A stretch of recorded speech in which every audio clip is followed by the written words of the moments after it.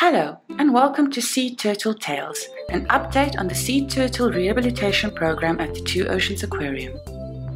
In this first episode, we will be telling you a little bit more about how we rehabilitate sea turtles, why we do it, and how you can help us.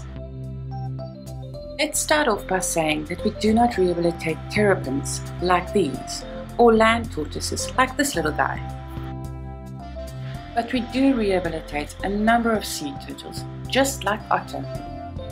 Around April each year, a number of hatchling loggerhead turtles weighing as little as 35 grams wash up on Cape Town and Western Cape beaches. Concerned members of the public bring them to the aquarium for rehabilitation.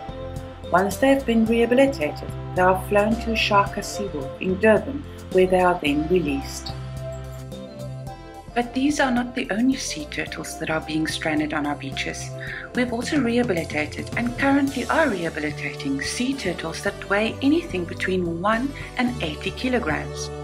Sea turtles are normally found in waters considerably warmer than those of the Cape Town coasts. So when we find turtles on Cape Town beaches, it means that they are probably suffering from dehydration and hypothermia and might also be suffering from infection and other injuries and they are normally covered in all sorts of growths. Each sea turtle that is brought to the aquarium is assessed and an appropriate course of rehabilitation and treatment is decided on.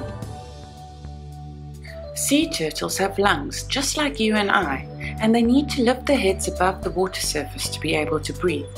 Sometimes they're just too weak to do this, so we make them special neoprene jackets to help them.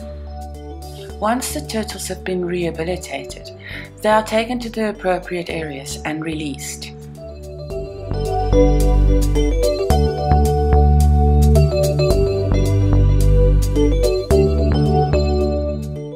Why do we rehabilitate sea turtles? Well, sea turtle numbers are rapidly declining. There are seven sea turtle species in the world.